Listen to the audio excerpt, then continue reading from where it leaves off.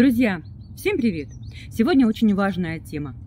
Лето 24 года показало нам, что без полива на дачном участке вырастить что-либо вообще невозможно. Поэтому сегодня мы поговорим с вами о поливе. Организовать полив можно на самом маленьком садовом участке, если у вас есть водопровод, либо скважина, либо вы накапливаете воду в какой-то одной большой емкости.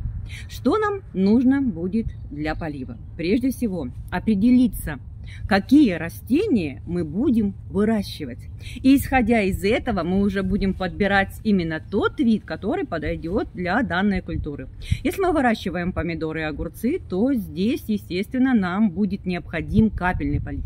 Если мы выращиваем землянику, то здесь будет комбинированный полив. Полив шлангами Golden Spray, а также капельный.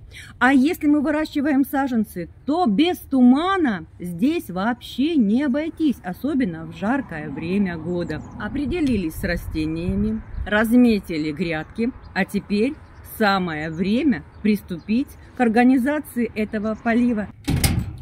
А начинается он вот тут.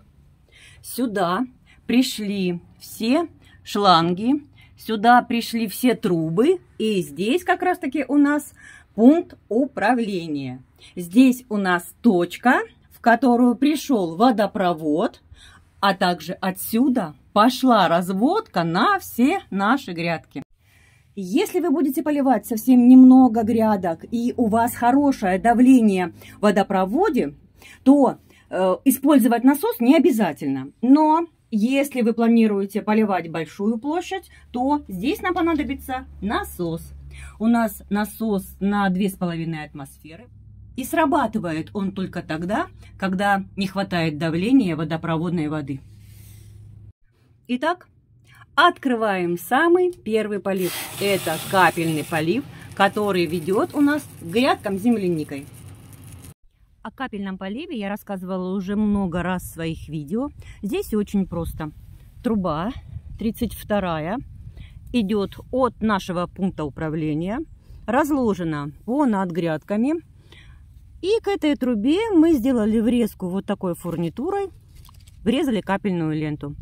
Шаг капельной ленты здесь у нас 15 сантиметров. Для земляники, для помидоров, для огурцов. Очень удобно. Но ну, для бахчевых культур можно сделать шаг побольше.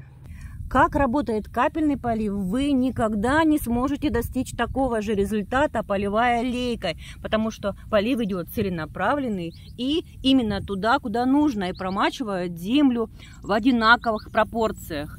Всем растениям хватит влаги. Кроме капельной ленты на землянике, мы еще здесь используем полив Golden Spray. Его в основном используют сразу после посадки земляники, чтобы создавать влажность верхнюю, а также в летний период мы снижаем температуру именно на определенном участке площади. А сейчас мы с вами отправляемся в тепличку, где у нас сделан туман. Здесь находятся растения, которые стоят на доращивании, они еще не готовы к продаже, еще не укоренились хорошо. И для того, чтобы укоренение происходило как можно быстрее, нужно использовать туман. Он только что сработал. Посмотрите, пожалуйста, на листьях у нас капли тумана. Немного не успели мы с приходом сюда, но сейчас я вам подробно рас расскажу, как он работает. Сюда проведена магистральная линия э, и к этой магистральной линии, к 32 трубе, присоединена 16 -я. И пошла разводка этой 16 трубы по тепличке.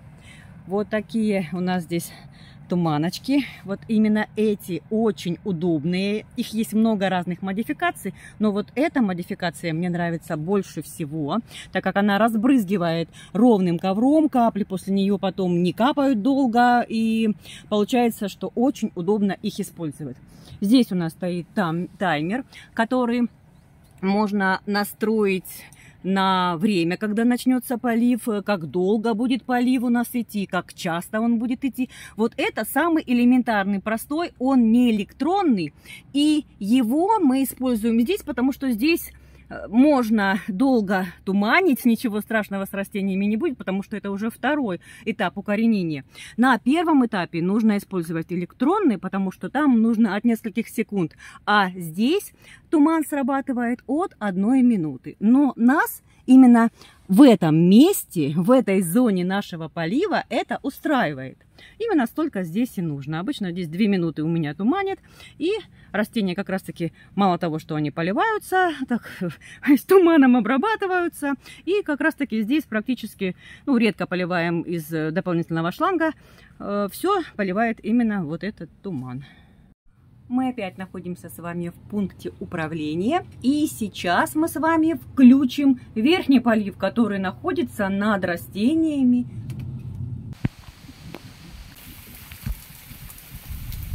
Следующий вид полива – это верхний полив для кустов малины и ежевики, которые у нас растут вдоль забора.